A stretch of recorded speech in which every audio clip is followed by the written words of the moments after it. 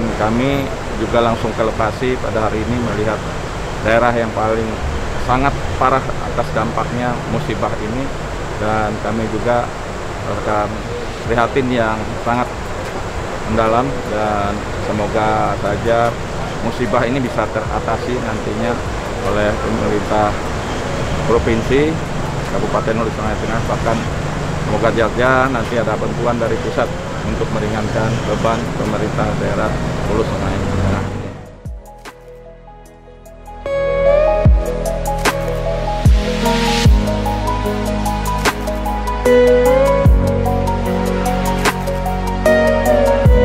Sehingga kami secara pribadi datang ke sini membawa bantuan-bantuan dari masyarakat kami, membawa bantuan-bantuan dari keluarga kami dan pemerintah daerah Kabupaten Barito Utara.